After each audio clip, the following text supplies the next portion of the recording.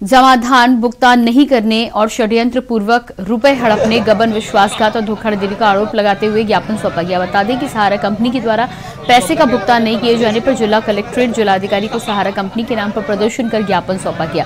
सहारा एजेंटों का कहना है कि हम लोग गरीब रेखा से हैं। हम सभी लोगों के पैसे सहारा कंपनी में जमाए जो नहीं मिल रहे हैं, जिस कारण हम लोगों ने जिलाधिकारी से भुगतान कराने की गुहार लगाई। है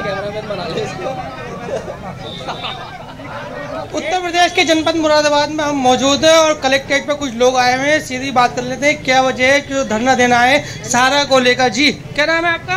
बंधना करवा क्या परेशानी है आप? मुझे ये परेशानी है लड़की की शादी है मेरे पैसे मुझे वापस चाहिए। कितने पैसे हैं? दो लाख रुपए हैं। किस बात के पैसे हैं? मैंने जमा किया था जैसे महीने में ग्यारह सौ या हज़ार जैसे भी होते थे ऐसे ही जमा किया था। तो तीन साल हो गए मेरे वापस नहीं मिला पैसे। तो क्या वजह थी मतलब जो वापस नहीं किया? किस वजह से जमा किए थे आपने पैसे? लड़की की शादी के लिए जमा किया था।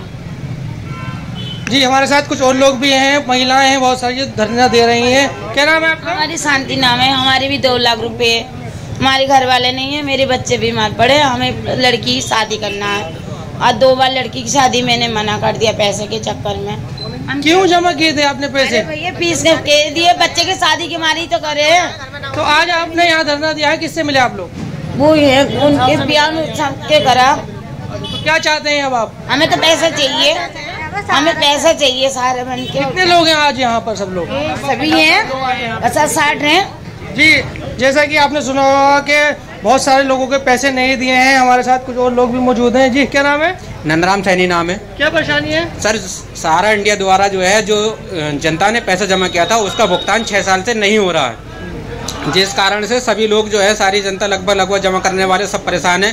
किसी की बेटी की शादी होनी है कोई किसी का मकान बनने से रह गया है कोई अस्पताल में बीमार पड़ा हुआ है। क्या वजह थी जो जमा किए आपने? कि, किस सहारा इंडिया द्वारा जमा जमा स्कीमें चलाई जाती थी जैसे आरडी की एफडी की जिसमें गरीबों की गाड़ी कमाई के रूप में जो है जमा जमा करवा लिया गया। उनका पैसा कि पाँच साल में दुगना दे देंगे लेकिन छः छः सात कहाँ पर है ये सारा सहारा इंडिया का कार्यालय यहाँ मुरादाबाद में दो कार्यालय हैं। एक कार्यालय बुद्ध बाज़ार में स्थित है और एक लाइन पार मजोला में स्थित है।